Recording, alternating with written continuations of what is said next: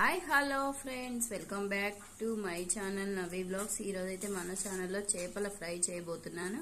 ముందుగా చేపలను అయితే ఇలా చిన్న చిన్న పీసెస్గా కట్ చేసుకొని పెట్టి. ఆయిల్ హీట్ అయ్యాక ఇలా ఆయిల్లో వేసి బాగా ఫ్రై చేస్తున్నాను ఫ్రెండ్స్ ముక్కలన్నీ ఫ్రై చేయడం అయిపోయినాక ఇప్పుడు ఆయిల్ హీట్ అయ్యే ఉంటుంది కదా.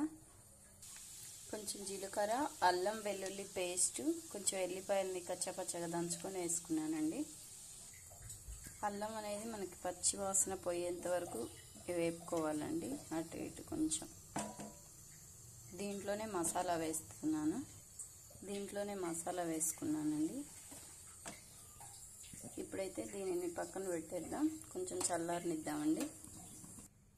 ఇలా ముక్కల్ని వేపి పక్క పెట్టుకున్నానండి. కారం సిద్ధం చేసుకున్నాను. ఇప్పుడు ముక్కలకి మెంతి పొడి కారం పట్టించేయటమే.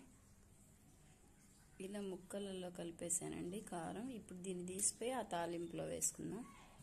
ఇలా ముక్కలకి కారం ఉప్పు తాలింపు బాగా పట్టేటట్టు కలుపుకోవాలండి. ఇప్పుడైతే కొంచెం నిమ్మరసం నేనైతే ఇదిగోండి ఒక రెండు నిమ్మకాయలు తీసుకున్నాను. ఇప్పుడు ఈ నిమ్మరసం దాంట్లో కలిపేసి బాగా కలుపుకోవటమే అండి. నిమ్మరసం అన్నీ బాగా కలిసేట్టు కలుపుకున్నానండి. ఇప్పుడైతే మనకి చేపల పచ్చడి రెడీ అయిపోయింది.